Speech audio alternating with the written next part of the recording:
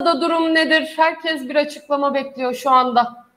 Manisa'da şu ana kadar bize gelen herhangi bir olumsuz e, e, durum söz konusu değil. Sadece 8-10 e, binada e, çatlaklar olduğu şeklinde bilgi geldi. E, herhangi bir e, yıkılmış binamız yok. Hastaneye başvurulmuş yaralımız yok. Can kaybımız yok.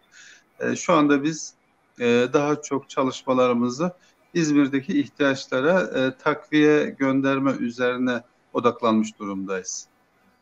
Ee, İzmir için ne tür çalışmalar yapılıyor? Şu anda il genelinde belediye başkanlarından da aynı açıklamaları duyuyoruz. Siz de söylediniz. Neler gönderiliyor? İzmir'de durum ne? Konuştunuz mu? E, tabii ki onların e, bizden e, neyi talep ederlerse o talepler doğrultusunda e, buradan takviyeler yapılıyor. Arama kurtarma ekibi, e, UMKE ekibi, bunun yanında e, çadır ve battaniye ihtiyaçlarının karşılanması, artık güvenlik ihtiyaçlarının karşılanmasına yönelik talepler geldi ve bu çerçevede bizler de e, ilimizden gerekli takviyeleri yapıyoruz.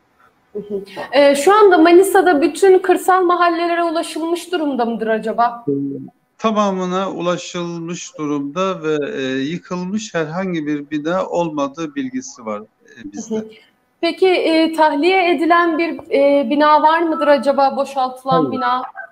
Hayır, şu an itibariyle yok. Sadece o e, çatlak olduğu ihbarı alınan binalarda incelemeler yapılıyor.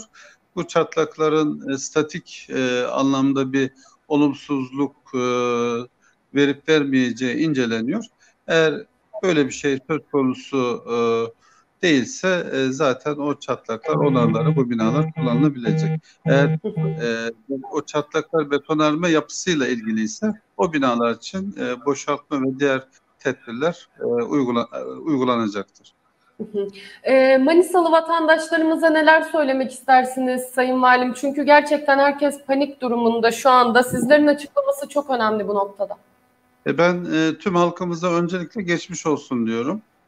E, deprem e, Ege Denizi'nde e, gerçekleşmiş büyük bir deprem.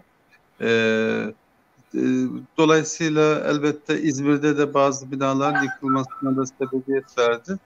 E, bu arada depremde hayatını kaybeden vatandaşlarımıza da Allah'tan rahmet diliyorum. Ee, inşallah e, böyle e, felaketler tekrar yaşanmaz ama her şey dönüp dolaşıyor yine. Binalarımız sağlam olacak, binalarımız sağlam olacak.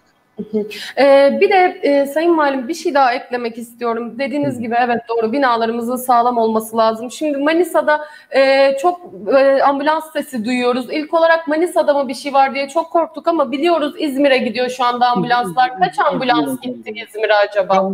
8 ambulans gönderdik. 8. Evet doğrudur. Evet. Evet. Çok teşekkürler yayınımıza katıldığınız için, verdiğiniz bilgiler için Sayın Valim. Çok sağ olun.